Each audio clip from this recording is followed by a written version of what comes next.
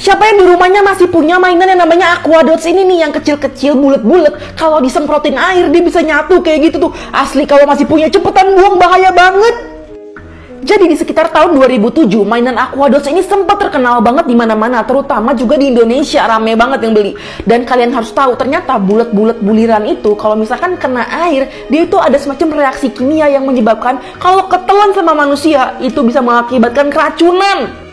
Jadi di luar negeri sana itu ada kasus anak 20 bulan itu menelan buliran-bulirannya. Beberapa gitu lah lebih dari 10 dan akhirnya anak ini langsung muntah, langsung keracunan dan akhirnya dilarikan ke rumah sakit. Bahkan jatuh koma dan akhirnya masuk ke rumah sakit sekitar 5 hari.